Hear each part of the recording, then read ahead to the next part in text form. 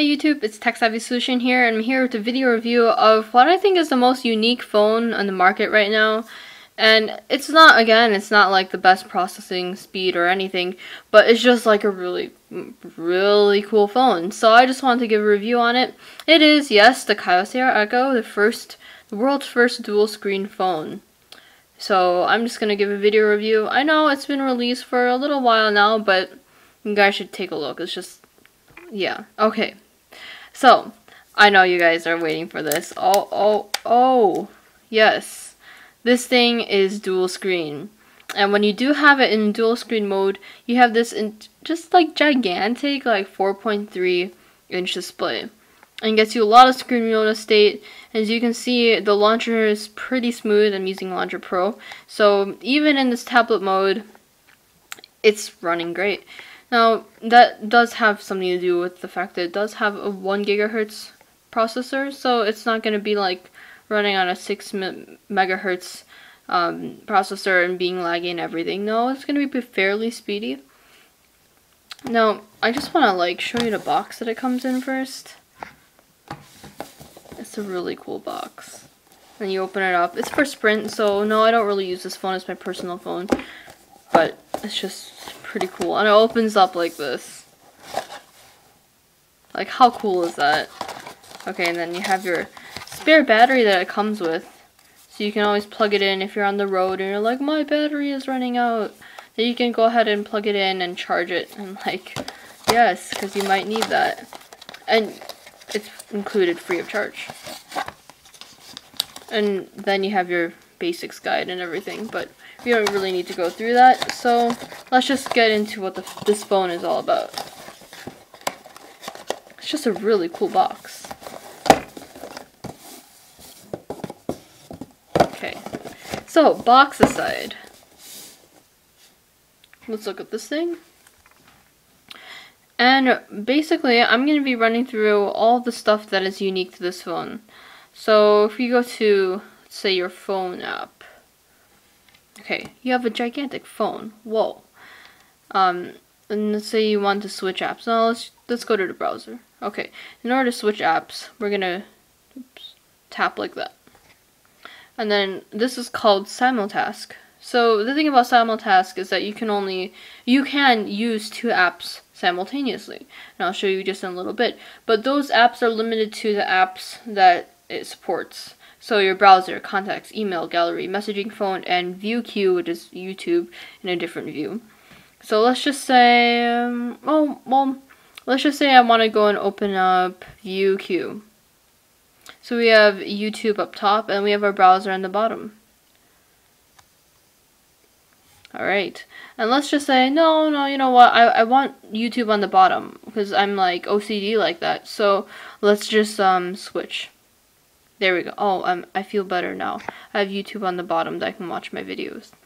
Or you're like, I need to do two things at once and um, browse two different web pages. So you want the browser on the bottom. Let's say you want browse. Oh, no, you can't do that. Hmm. Let's see. Nope. No, no. Switch to browser. And then we want browser and then we want two different browsers? Oh, too bad. You can't have that. Could have sworn that you could have. Hmm.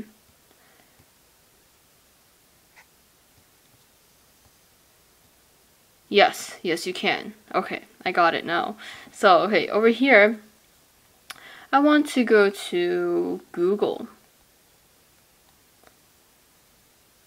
And then here, I want to go to Engadget.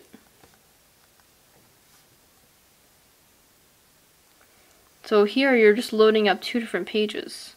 So Engadget is over here, and then Google is over here. So let's say on Engadget you're reading an article, and notice, um, let's go to the desktop view of this thing.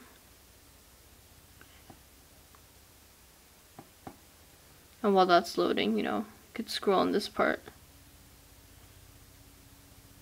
And notice that it's not even that laggy even while it's still loading. Let's say, okay, we're pinching the zoom, which it should be smoother once this thing finish, uh, finishes loading, and we'll try that out when it does. Um, let's say we do not know what the S4 MSM 8960 is. Although secretly we do know. So, hold up. Let's on this page.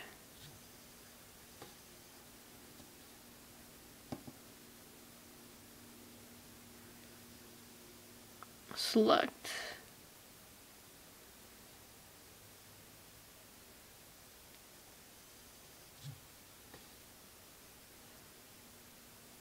copy link URL. And then over here, oops.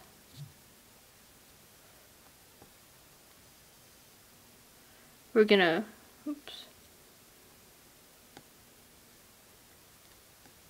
Should paste, paste. There we go. Then on here, you can be like, oh, so this is what it is here's the news stories for this. Now I kind of have a background information on what this thing is. And then when we go ahead and read this article again, we'll have, we'll be a little more enlightened. Honestly, I don't really think this feature is like um, very practical or anything because on a normal phone, we can just Oops, uh, I did not want to do that. We can just open up two different web browsing pages. So, see, Windows. And then we can search on this window. And when we're done with that window, then we can go and switch between windows. And then it's, it's a little faster too. And as you can see, the pinching the zoom, it's not the smoothest. It's not like iPhone quality. But it gets the job done. You also have the buttons down here too.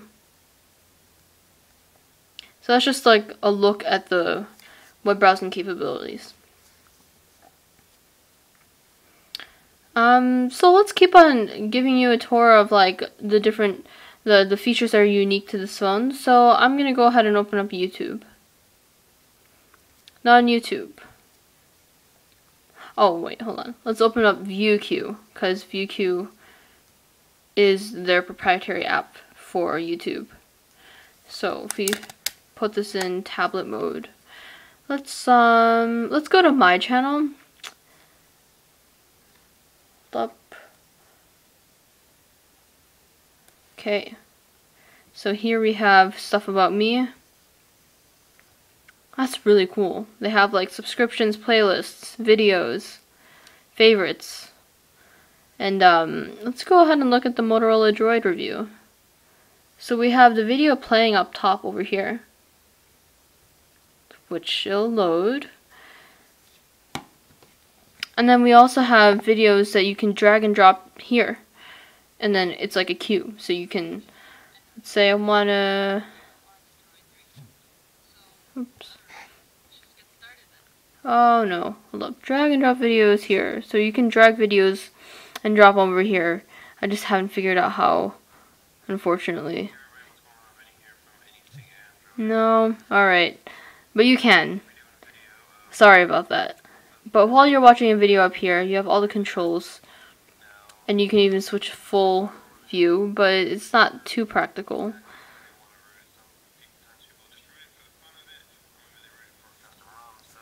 So while you have that, you can um, have a queue waiting for um, waiting for you when you're done watching the video.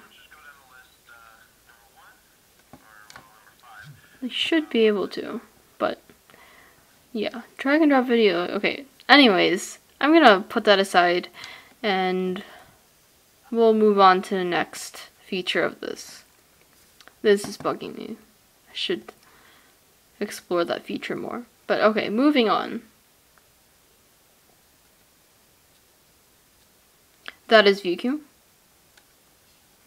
Now if we take a look at any of the other applications that this thing comes with, um, things that are unique to this, we have something called Eco Mode.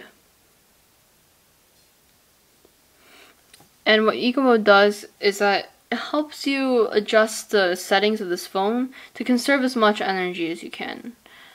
So here we have settings for, okay, I want Eco Mode to turn on when my battery is down to 20%.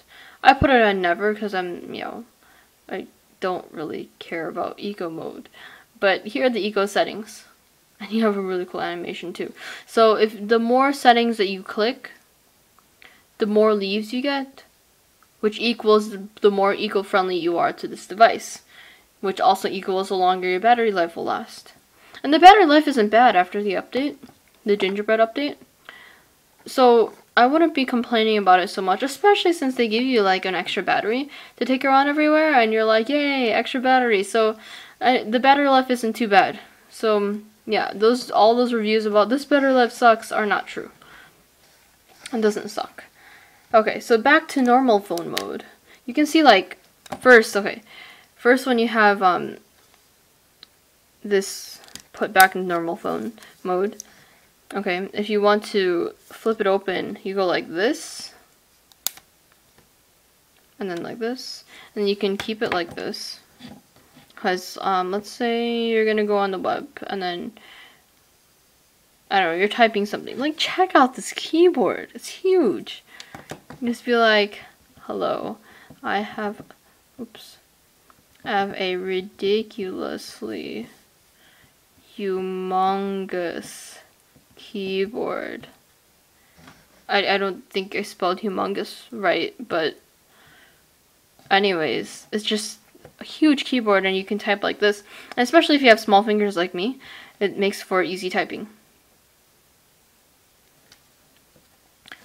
So then, yeah, and then you can pull it back and lock into place. And that's that. So, let's just um give you a physical tour of this phone. It is on the chunky side, but think of it as having like mm, like a DS Micro, like a Nintendo DS Micro, since it's like dual screen, right? Um, but it's like a phone. It's like whoa, and you have um the backlit keys over here. They're touch sensitive, obviously, and obviously this phone's by Sprint, so all you GSM users, sorry, over here we have a LED notification light. And then as well as your speaker. And then over here we have nothing. It's the second screen. But we also have another set of um, touch sensitive uh, navigation buttons for home, menu, and the back button. And over here we have our hinge.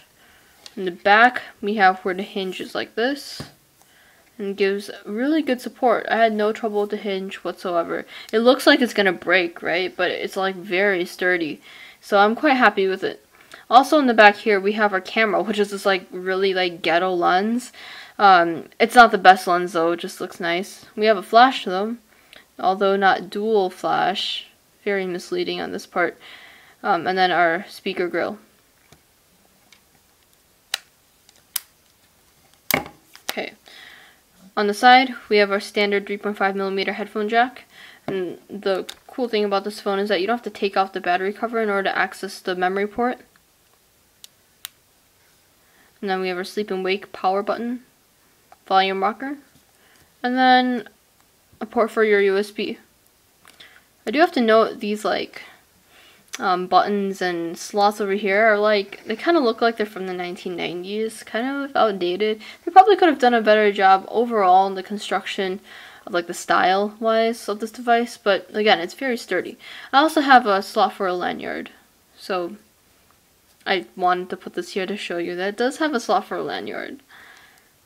And yeah, okay, so on the back here, let me just sleep this device so that I don't hit anything.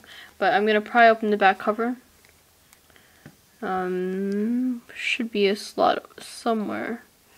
Pry it open easily. There we go. We just slide it. And then the back here, we have our battery. 1370 milliamp hour. I think they could have made a 1500 milliamp hour battery just to increase the battery life, but they probably have their reasons for keeping it this size. And that's pretty much all you get when you open it up. So there's not really much of a reason to open up unless you want to change out your battery or something, which is kind of rare to do so. So we're just going to slide this thing back on. And man, this thing is like thin. They want to conserve as much space as possible since the phone is thick already with two screens.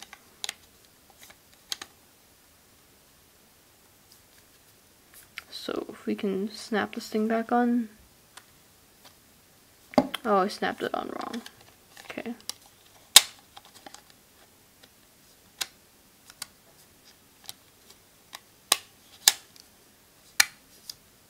Really not much of a mechanism for getting this cover back on, but here it is. It's back on.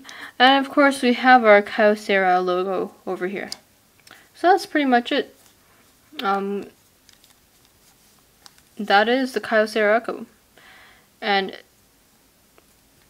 one thing to note is the lock screen. Yeah, pretty nice. And of course, we have our notification bar up top. Thinking of getting this phone to review, by the way. And yes, so overall, very positive opinion on this phone. Um, it has basic standard features plus some extra stuff. And if you wanted like a ridiculously large keyboard, like I said, let me show you this again. It's ridiculous. It takes up the entire space. Then this phone is for you. Especially since like, you know, on like uh, physical QWERTY keyboards, you're like, oh my god, I can't like click the keys are very unresponsive. You have to like press down on them like really hard in order to get a response. Like they're not like slows down my typing. They're not respond. Well, these on-screen keyboards, like the advantage of it is that okay, you don't you can barely touch it and then it'll give you a response and it's great. And the disadvantages of, of them is that okay, if you have a phone that's like this big on this like this screen, hey, that was like a bad example. Okay, if you have a phone that's this big, the on-screen keyboard is like this small and you're like, I don't want to type on it. But what happens if you have an on-screen keyboard that's like this big? You, you have all the pros of an on-screen keyboard without the cons of it being too small. It's like huge.